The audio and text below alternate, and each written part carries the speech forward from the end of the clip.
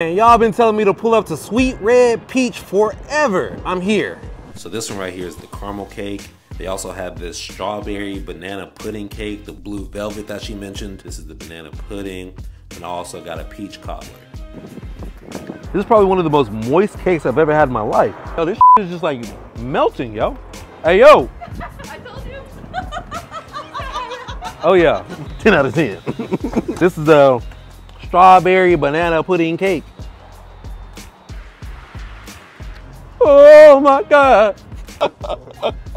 That's a banger. Caramel cake, caramel cake. My auntie, uh, she'd make a good caramel cake. So, you know, I hold these to a pretty high standard.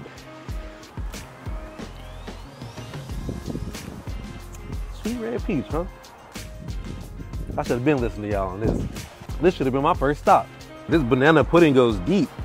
Oh yes. Woo!